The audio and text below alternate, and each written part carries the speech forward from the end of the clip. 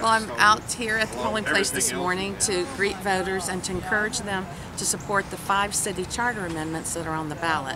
If you're a city voter, they're at the very end of the ballot after the wine and grocery store referendum.